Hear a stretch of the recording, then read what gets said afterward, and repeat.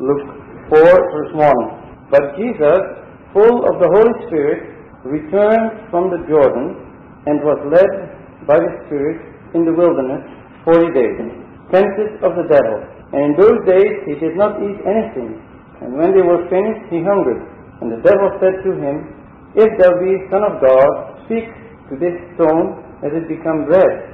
And Jesus answered unto him, saying, It is written, Man shall not live by bread alone, but by every word of God. And the devil, leading him up into a high mountain, showed him all the kingdoms of the habitable world in a moment of time. And the devil said to him, I will give thee all this power and their glory, for it is given up to me, and to whomsoever I will I give it. If therefore thou wilt do homage before me, all of it shall be thine. And Jesus answering him said, It is written, Thou shalt do homage to the Lord thy God, and him alone shalt thou serve. And he led him to Jerusalem, and set him on the edge of the temple, and said to him, If thou be Son of God, cast thyself down hence, for it is written, He shall give charge to his angels concerning thee, to keep thee, and on their hands shall they bear thee, lest in any wise thou strike thy foot against the stone. And Jesus answering said to him, It is said, Thou shalt not tempt the Lord thy God. And the devil, having completed every temptation, departed from him for a time. So far the reading of the scripture.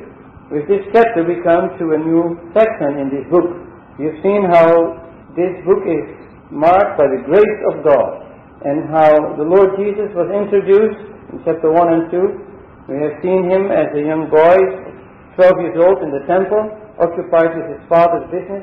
And the last time we have seen him at the age of 30, and the age of 30 was often linked with public service. Um, not before the age of 30, a priest would publicly serve.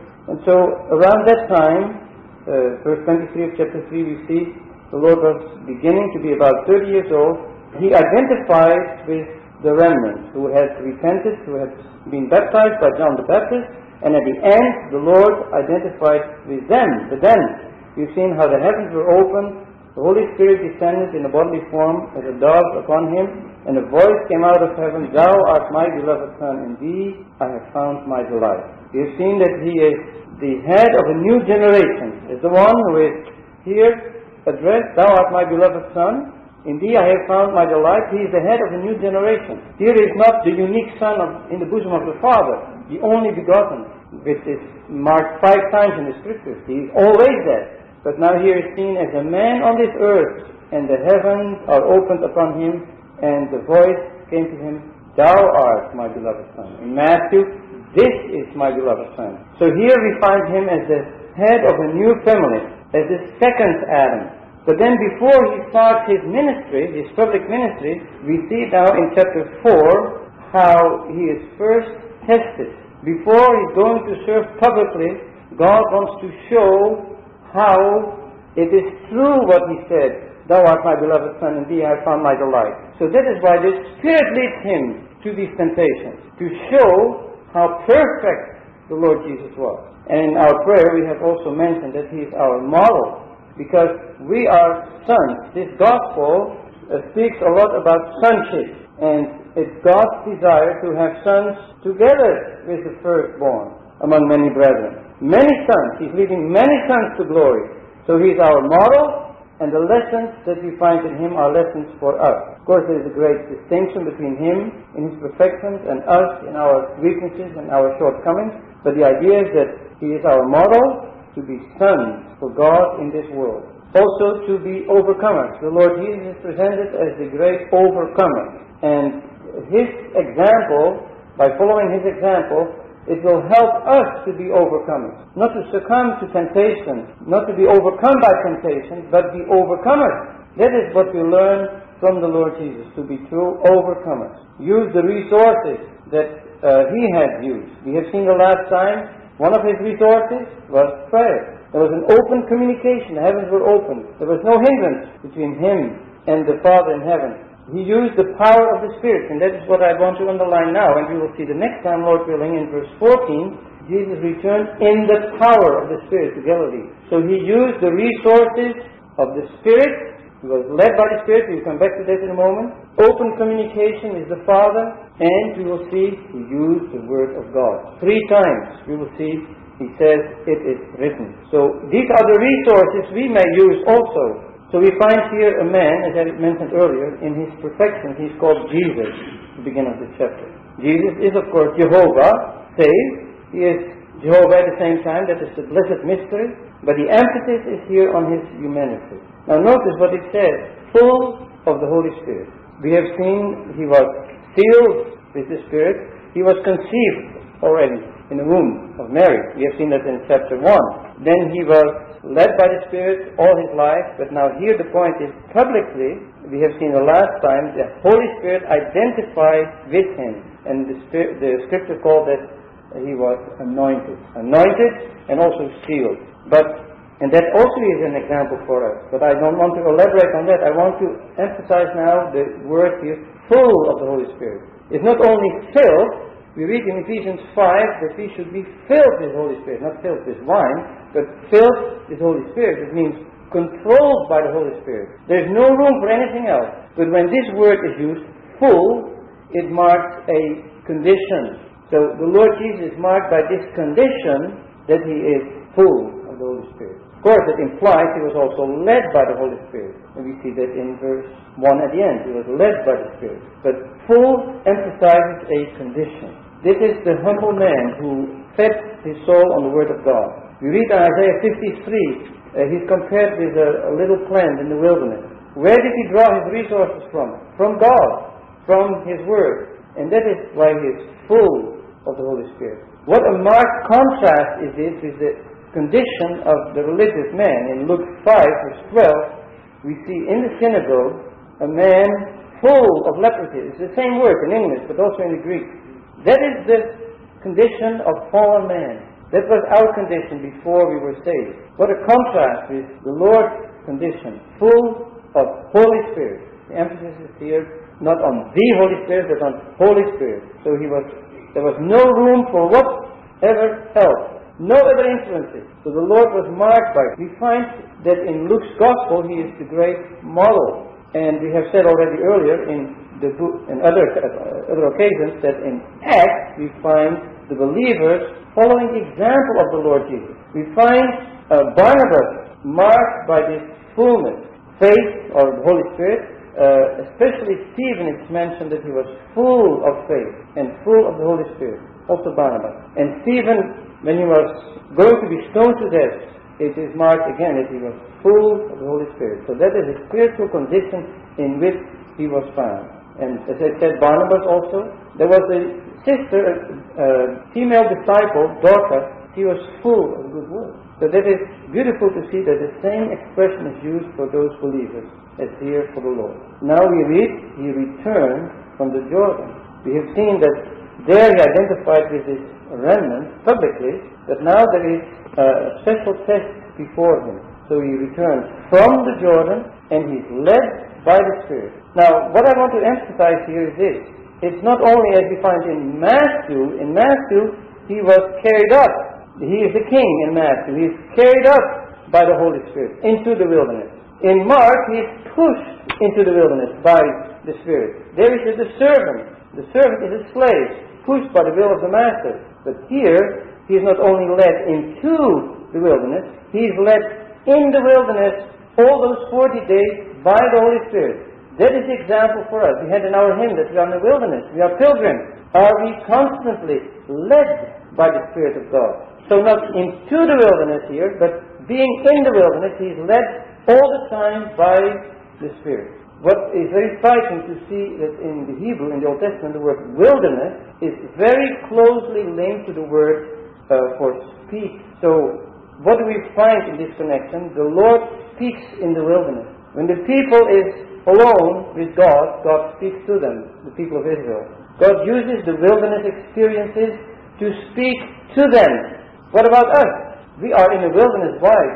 God used uses our experiences to speak to us.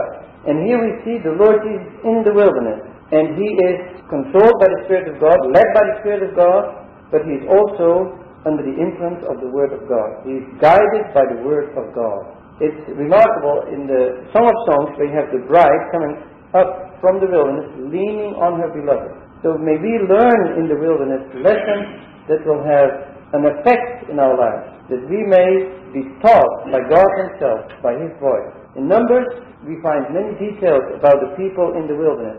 God wanted to form them, to have them for Himself in the wilderness. There was a whole army prepared by God in the wilderness for Himself. Notice there are no human resources. All the resources which are there are from God. Do we use those resources? The manna that came from God, the water from the rock, these were God's resources and the Holy Spirit leading them. Those resources. And then the trumpet, as you find in number 10. And the ark going before them. These were the resources that they learned to use in the wilderness. These are the resources we need to use in the wilderness. Then we see in verse 2 it was 40 days that he was in the wilderness. The word 40 is often marked, is often linked with a complete period of testing. You find the uh, number 40 in connection with the flood. 40 days it was pouring rain. You find you can check it in a concordance. Many, many times the number 40 is found. 40 days that the spies went out to the land, they were unfaithful, and then 40 years in the wilderness. So many, many occasions we find this word this number 40 says. Many, many times. And here the Lord, He enters the wilderness experiences. Not to fail. Israel had failed. Despite all the resources which were there. Here the Lord is there alone. No resources as, as the manna and the water and so on. He's there alone with God. He did not fail. It reminds us of, when we come later, uh, to speak about temptation, how Eve was seduced by Satan. Was it, and, and then uh, Adam transgressed. We read that very clearly. Adam transgressed. What a contrast. They did this in the most wonderful circumstances in the Garden of Eden. You can't have better than that. They failed. Here the Lord Jesus in the worst circumstances you can imagine. Forty days in the wilderness. No food. Nothing to drink. He hungered at, at the end, verse 2. And then, even with the wild animals, we read in Mark 1. In those, in this situation, the Lord did not fail because he used the resources that God gave him. We find in Hebrews 2 a very remarkable uh, expression. It says there in Hebrews 2 verse 18, For in that himself has suffered being tempted, he is able to help those that are being tempted. So that is why we have liberty to say in Luke 4 we have the Lord as our model. He was tempted, he did not fail, and Thus he is able to help us now from the glory, he's in the glory, he's able to help us who are now in the wilderness being tempted. And while we are here in Hebrews, perhaps we can turn to Hebrews 4, verse 15. Let's read from verse 14. Having therefore a great high priest who has passed through the heavens, Jesus, the Son of God, let us hold fast the confession. For we have not a high priest not able to sympathize with our infirmities, but tempted in all things in like manner, sin apart. Let us approach therefore with boldness to the throne of grace, that we may receive mercy and find grace for seasonable help. The Lord suffered when he was tempted. And if we are options, either to give in, then we don't suffer, or to resist the devil, then we will suffer. Now, the point to understand here, it says the Lord was sin apart. 4 verse 15.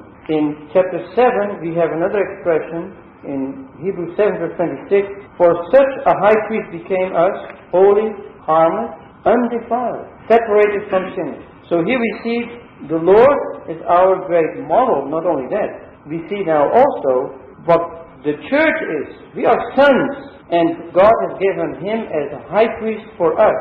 Such a high priest became us, holy, harmless, undefiled. That is how he is presented to us here in Luke 4. So we go on then uh, to speak about the devil. It says in verse 2 to be tempted by the devil.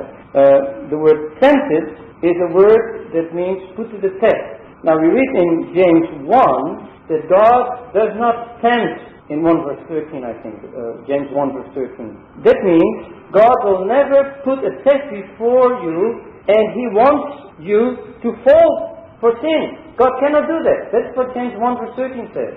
However, God also tempts us, tests us.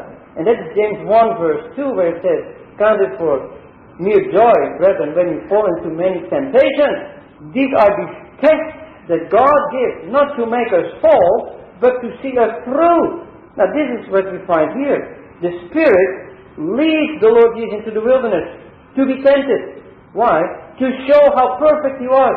Not that He would fall for sin, but to show how perfect He was. And in a similar way, the Lord leads us into temptation to test us and to show that the material that God has prepared for Himself by grace is good and can stand the test.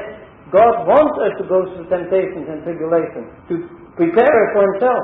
So that is about temptation. It's never that God would like to seduce us to fall into sin. That can never be. That is James 1 verse 13. That would be in contradiction to God's holy nature. It just cannot be. But when God would lead us in temptation, like here the Spirit I think of the prayer, do not lead us into temptation. So that's not the point here, but he's led to the wilderness in order to be exposed to this test. That was the purpose. Now, of course, Satan had different objective. Satan would like to see the Lord fall, but then he didn't know the Lord. He didn't know. He had a lot of experience, 4,000 years human history, and Satan had seen how all these people had failed. And now he was confronted with another may I say human being, a man, perfect man, perfect human spirit, human soul, human body, although he is God overall, mystery of mysteries, Satan didn't know him.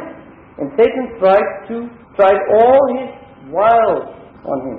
He did not succeed. As we have seen in Hebrews, he could not succeed. There are other verses that say, in him was no sin. So there would, would not be any response in the Lord to those temptations. And so I repeat, these temptations were allowed by God to show the perfections of the Lord It was impossible that he would succumb to these things, that he would fail. But, as you've seen in Hebrews, it meant suffering. He suffered in this process. And as we follow the Lord Jesus and are exposed to temptations, we suffer when we resist the devil. But these sufferings are for a time. The, the name devil means slanderer. The devil has tactics. When he comes, you'll see that in a moment, when he comes to the Word of God, he uses it for his own advantage. Uh, he is a slanderer. He always gives a twist to the Word of God. He is also Satan. Satan means adversary. He's a great adversary. So he opposes everything that is of God. And so that is why he confronts the Lord Jesus here. But this is tactics like he did with Eve in the garden. His tactics are of the slanderer and of the serpent. The serpent wants to seduce, and as a dragon, as we have in Revelation, as a dragon, he wants to devour. So we have a an enemy. It's a terrible enemy. Now you might think, okay, I'm ready for that. I'm ready to be tested. The Lord gives me the help that I need. But Satan is very sly. He can change into an angel of light. Read Second Corinthians and you see how Satan approaches the people of God in his uh, way. He can change into an angel of light and he can let's just read in Second Corinthians, first an expression in uh, chapter 10, verse 4. For the arms of our warfare are not fleshly, but powerful according to God to the overthrow of strongholds, overthrowing reasonings and every high thing that lifts itself up against the knowledge of God, and leading captive every thought into the obedience of the Christ. Christ is our example. He's our model, as we have said. His obedience, and we will see that how he obeyed, how he was dependent upon God. His obedience. That is what we need. And then we will have victory. When you come to chapter 11, 2 Corinthians 11, verse 2, For I am jealous as to you with a jealousy which is of God, for I have espoused you unto one man to present you a chaste virgin to Christ. But I fear lest by any means, as the serpent deceived Eve by his craft, so your thoughts should be corrupted from simplicity as to the Christ. You see how Satan would uh, try everything to deceive us and to lead us away from the simplicity as to the Christ. But if we have a simple eye fixed on the Lord Jesus, he will not succeed. In the same chapter, in verse 13, Paul says, For such are false apostles, deceitful workers, transforming themselves into apostles of Christ. See how clever Satan acts? Verse 14, it is not wonderful, for Satan himself transforms himself into an angel of light. That is how he approaches us also. Not only as a roaring lion or as a, as a serpent, now here even as an angel of light. There are people who listen to voices that claim to be Jesus. They are misled. How terrible is this? I'll turn back to Luke 4. In those days he did not eat anything, and when they were finished, he hungered. The Lord was like fashioned as we are. He hungered after these 40 days. And Satan comes in a moment of weakness. I don't, I don't say that there was anything wrong with the Lord, but this was a moment of weakness. And Satan keeps on coming. He has been at it for 40 days. He doesn't give up. And now at the end, he comes back again here and he tries all his wiles. And they are summarized in three different attacks by the Spirit of God. So he has been at it for 40 days. And as I said, this is a complete period of testing. And now let's summarize what happened at the end in these three different attacks. And the devil said to him, If thou be Son of God. That doesn't mean to say, I, I, I doubt whether you are the Son of God. Now he refers to what we have read in chapter 3, verse 22. Thou art my beloved Son. So the word if here means, since you are the Son of God, speak to this stone. See how subtle sensation this is. The Lord hungered. And so Satan suggested to him, well, you are the Son of God. You can say to this stone that it become bread. And what we learn here, uh, the Lord's complete dependence upon God. He would not do anything unless God would tell him it to do. And so he would not do this. Secondly, he would never use his own power for his own interest. He always used the power for the benefit of others and for the glory of God. So here are important lessons for us also. We find here the Lord in his maturity. We have seen in Luke 2 how he grew up and how he became stronger and stronger. Now here he has come to full maturity. And Satan tries all his efforts to stop him and to make him fall.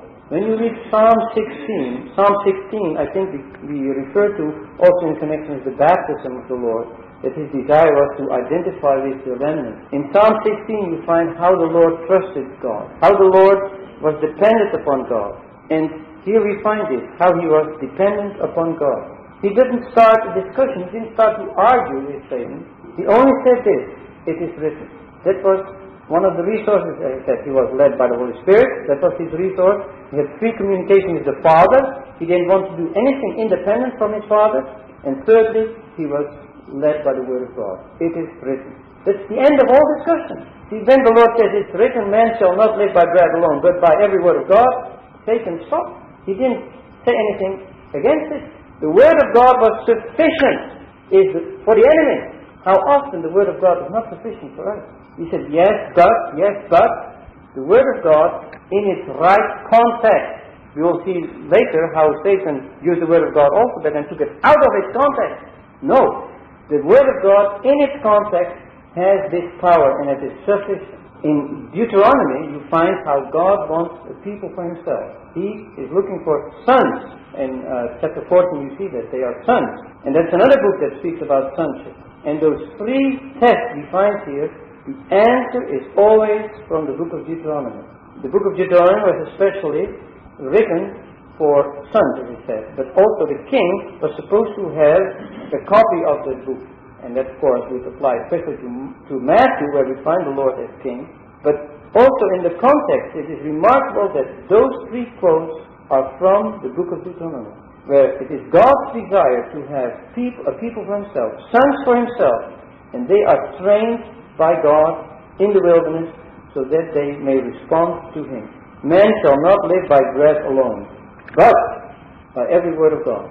Here are the resources for the people in the wilderness. These resources will lead them to be true overcomers. When you read the Psalms, you find how the Word of God is sufficient in trials,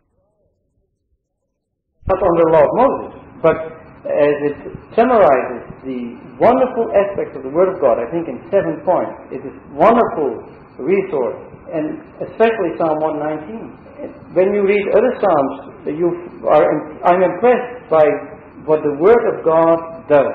So here's the people in the wilderness. We are people in the wilderness. Here we find the Lord in the wilderness. And he quotes from that verse. In Isaiah, we find how he was formed at God's school. Every morning, he listened to the Word of God. He was a disciple trained in the school of God. Isaiah 50 uh, elaborates on that. And so the Lord is trained and He knows the right words. That is what we have the armor of God. I would like, we have no time to refer to that now, but in Ephesians 6 you find the armor of God in seven parts. Number seven is prayer. We saw the Lord in prayer the last time. He has the full armor of God. The enemy is, has no effect when one has the full armor of God. Now, of course, the Lord could not sin, but the new nature that we have received cannot sin either. And so we need to be, the new nature wants to be under the control of the Word of God, wants to be led by the Holy Spirit, wants to follow the Lord Jesus, and then we will be overcomers also. So may we follow the Lord's example here. What are our priorities? In Matthew 6, we read, Seek first the kingdom of God. God knows that we need bread. In uh, uh, Exodus 16, we see, no, later in Numbers, they were hungering again and they were asking for food. God said, I will give it to you. But we read in the Psalm that He sent a leanness to their souls. That was God's chastisement. God doesn't want to do that if it's not necessary. He wants us to rely on His resources. He, he knows that we need bread also. But are we really putting the priorities straight? Are we using the Word of God? Are we reading it? Are we using the armor of God so that we are ready for the attack of the enemy? So the Lord is here presented to us as a, real example, a model for us in His maturity and in His dependence upon the Lord. Then we come to the second test. The first test we have seen is especially linked with his need in the wilderness, need for food, and brings out how he was completely dependent upon God, completely obedient also. But the second test is slightly different.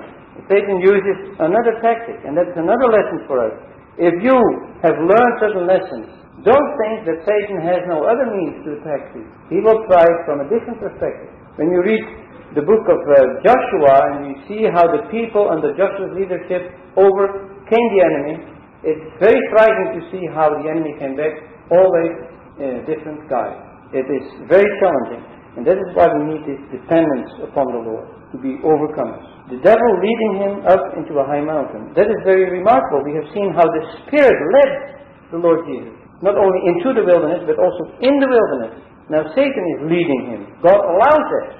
He leads him up to a high mountain. A mountain speaks of power. And we see in Daniel 2, for example, that once the stone will be detached from the high mountain and will smash the statue uh, representing the world power. So the high mountain speaks of authority. But we see that in this passage that Satan had uh, taken that authority by usurp, he usurped it. How? How did he get that authority?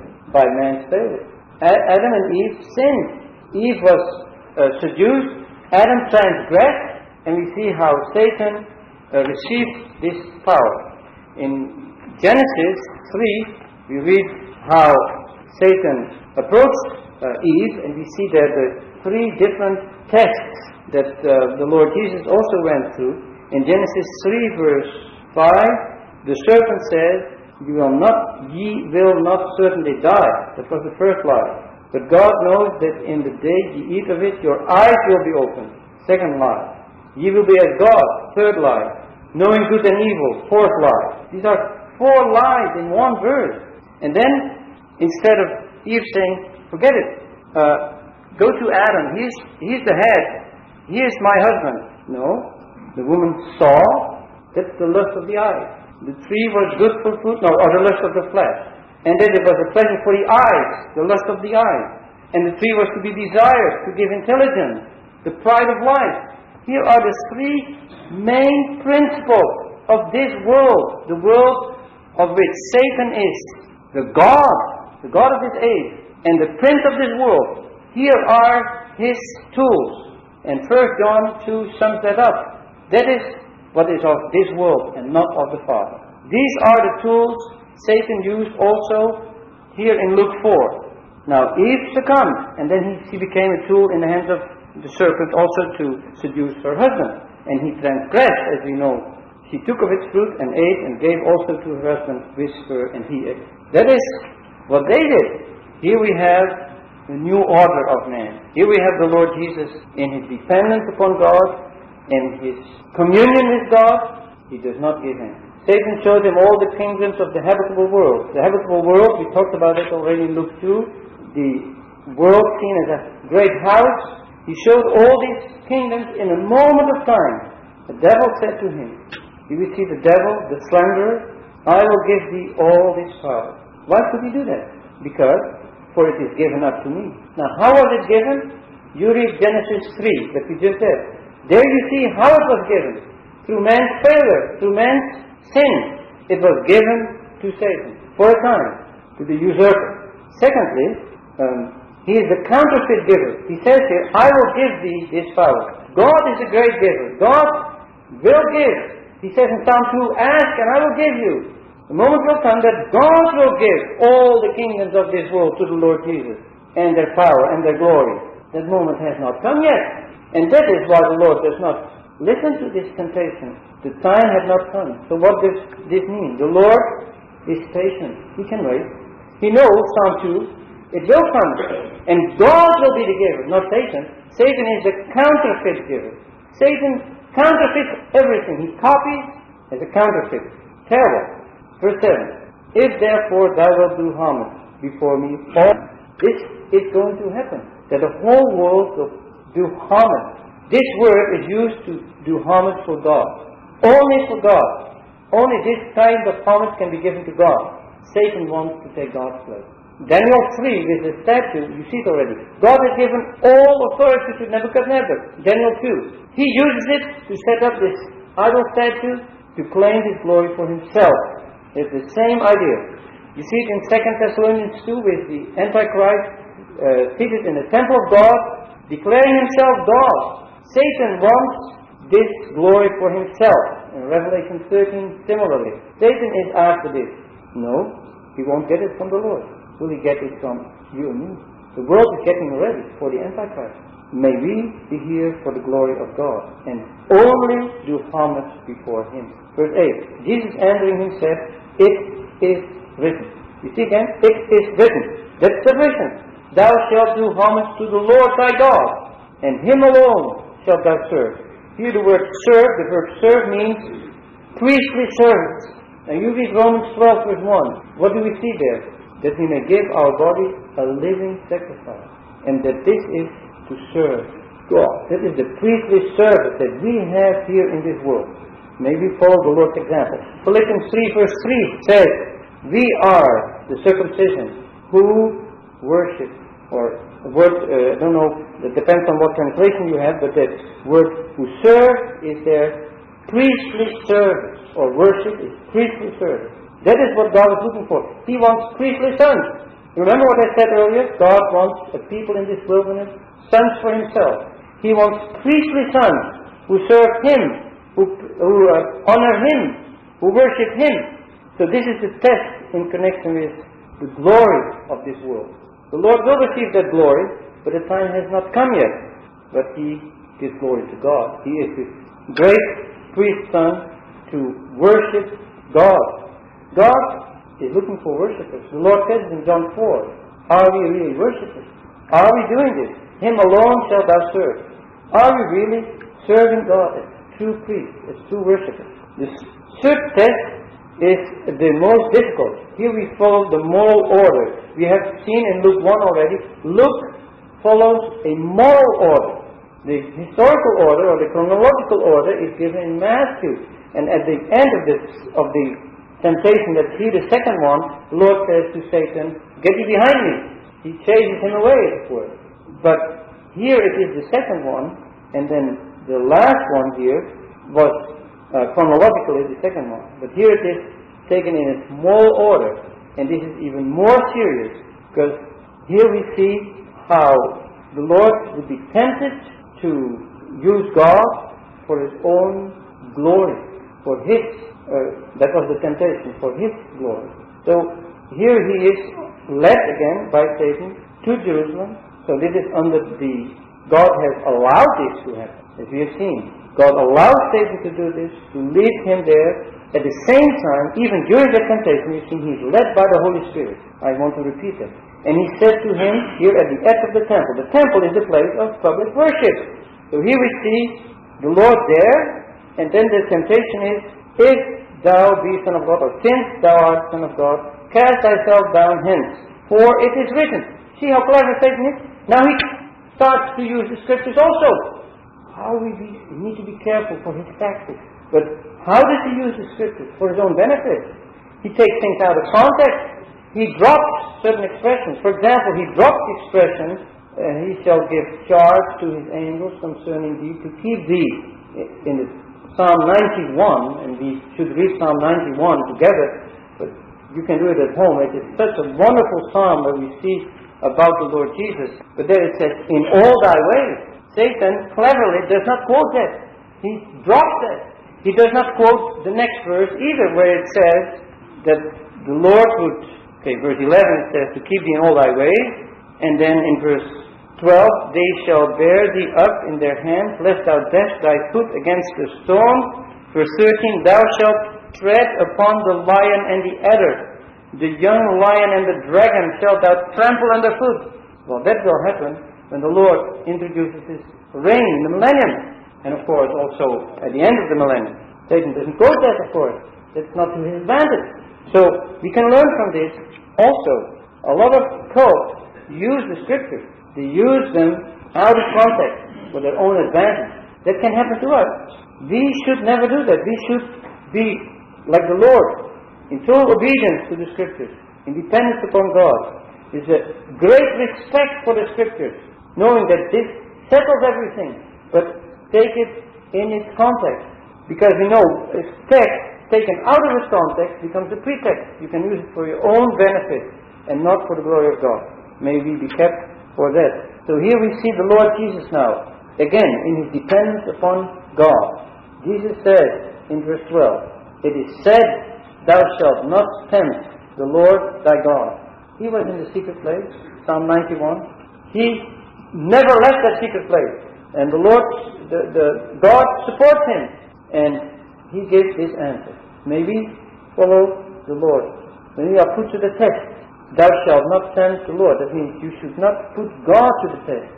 Not try God out for yourself. Uh, this happened to Israel. Israel had gone through the um, through the Red Sea. What a tremendous miracle this was. They had seen how God took care of them, even the manna. And then they said, Well, is God among us? You can read it in Exodus. That was tempting God. There are people today who don't think that this is sufficient, the Word of God. They want signs and miracles. They tempt God, as it were. And so they fall into the hands of the devil. Verse 13. The devil having completed every temptation. Here we see how everything was cried out on the Lord we are going through temptations and trials. There is a verse, 1 John 3, verse 8, where we read, He that practices sin is of the devil, for from the beginning the devil sinned. To this end the Son of God has been manifested, that he might undo or annul the works of the devil, render inoperative. That is what the word means. The Lord has rendered inoperative the works of the devil but still we have our own responsibility not to succumb to these subtle temptations. Satan, and I wanted to say that at the beginning, I forgot. When I said that, when he said, It is given unto me, and to whomsoever I will, I give it. I wanted to say, tie this in with what the Lord says in John 8 that Satan is the father of the lie and the murderer from the beginning. That is what we see in Genesis 3. That is how he got it. He got that uh, authority by usurpation. But here in this verse in 1 John 3 verse 8 we have read that nevertheless the Son of God has been manifested that he might annul, undo, render inoperative the works of the devil. And then it says, Whosoever has been begotten of God does not practice sin. That is what I said, the new nature. The new nature in us will have victory over sin. If we succumb, it is because of the flesh, that we allow the flesh to respond to the temptation. If we resist, we will suffer. It says here in verse 9, how can you have this victory? Because His seed, that is God's seed, we are God's seed, abides in him and he cannot sin. The new nature cannot sin. So that is where I said there is a similarity. The Lord, of course, he could not sin. But the new nature that's in us cannot sin either. Because he has been begotten of God. And then verse 10, In this are manifest the children of God and the children of the devil. Whoever does not God, and he who does not love his brother. So John, we know, put things black and white. I don't want to elaborate on that now, but say a few more things here about Luke 4, that all the temptations had come to an end. And I think there's a verse in John, I just read it, John 14, it's a very beautiful verse, verse 30. I will no longer speak much with you, the Lord said to the disciples, for the ruler of the world comes, and in me he has nothing. So here the, uh, the word of God says, the devil having completed every temptation departed from him for a time, but he would come back. He was at the Lord through the unbelief of the disciples, through many different attacks. But he would come back in a very special way in the Garden of Gethsemane, and then also at the cross, as we read in Psalm 22, how the Lord was surrounded by all the powers of the enemy mobilized against him. He would come back. But the Lord says here in John 14, verse 30, In me he has nothing. There was nothing in the Lord Jesus that would ever respond to something of the enemy. I quoted earlier a verse in uh, 1 John 3, and there is another beautiful verse. We referred already to Hebrews 2, but I want to read in Hebrews 2, verse 14 now, where we read that the Lord Jesus, yeah, in Hebrews 2, verse 14, since therefore the children partake of blood and flesh, ye also in like manner. So he is different, yet he identified with us in like manner. We've seen in Luke 1 the uh, conception is different compared with our conception, how we came into this world. But there is a similarity in like manner. He took part in the same. So we see we have seen the Lord had this sinless nature right from his from the womb of his mother. So that he took part in the same as a human being. He took part that through death he might annul him who has the might of death. So the Lord became a man so that he might die, that he would be able to die. God cannot die. But as a man, he could die. And in dying, he annulled, he rendered inoperative him who has the might of death. That is the mystery. How the Lord overcame Satan. Apparently, in weakness. Apparently, he had failed. No. That moment, he had overcome Satan. And that is similar to what we have here in Luke 4. Uh, he, he, will, he will never uh, have the victory. In a moment of outward weakness, the Lord had victory. May the Lord help us to be overcomers, as I said. And I want to summarize once more. We find here these three tests in connection with earthly things, which are good, which are given by God, but Satan wants to use them, those earthly things, against us. And so then we have to rely on the Word of God. Uh, that's the first test. The second test is uh, ambition. The Lord did not seek his own ambition. He was patient. He could wait till God will give him all the kingdoms of the world. We may be tempted to follow our own ambitions, and then we fall into Satan's trap, trap and we will honor him. But a priestly son, as we have seen, is here to serve God, to worship God, to see God's interest. The third test is the most difficult, morally speaking, trying to use God for your own purposes, claiming even signs and miracles that God apparently would have done, claiming God for yourself in religious things, as the people did in the wilderness. No, we cannot do that. And the Lord refrained from doing that, although the temptation was very, very serious. It was like, well, jump from this uh, from this wall, everybody will see that you're the Son of God. Well, would we fall for it? Probably, I would. Everybody would stand at awe. That is the applause of the world. The Lord didn't fall for that. So here we see lessons for overcomers. We have seen a little bit of the resources the Lord used, the relationship with His Father, an open heaven, prayer, led by the power of the Spirit, led by the Word of God. Are we using those resources? I said earlier, the Lord is our model.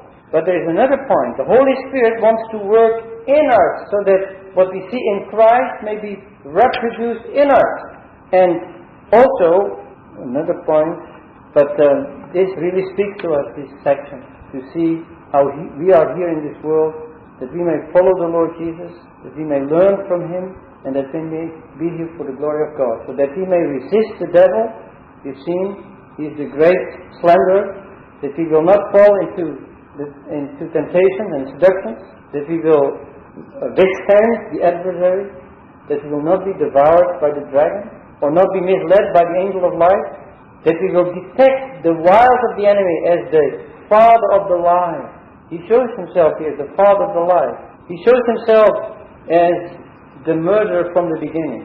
May we follow the Lord's example. And so this section is used by the Spirit of God to prepare the Lord Jesus for his public ministry. He has passed the test.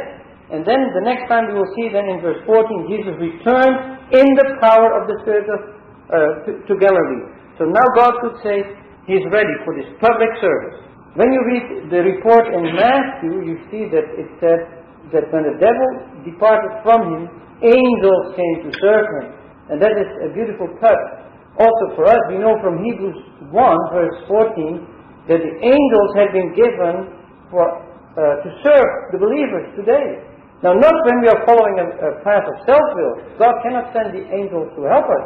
But when we are following a path of obedience, as the Lord is, of dependence, seeking God's interest, then God can send angels also to help us, according to Hebrews 1, verse 14, and as we find with the Lord in Matthew 4. So let us uh, remember that the enemy uses different tactics, and he has great experience, 4,000 years experience, so maybe be prepared. In 1 Peter 5, we see that he goes around like the roaring lion, trying to devour. And again, there we have wonderful resources how to resist. That's what Peter says resist the enemy. Now, when the enemy comes and there is something in us to respond to that, we need to flee. We need to flee fornication. We need to flee idolatry. Because these powers are so strong, and in us there is the tendency to respond to these powers, to idolatry, to fornication, or to the desire to become rich, or, as uh, we find in 2 Timothy 2, the useful lust, pride perhaps. We need to flee from those. But then withstand the enemy in his attacks. We need to be very much in the hands of God to know what to do, whether we want we need to resist, because what often happens, we resist when we should flee. We are weak. We, for certain things like fornication and, and these matters, idolatry, we need to flee. That's what the scriptures say. And often we flee when we should resist. So may the Lord help us.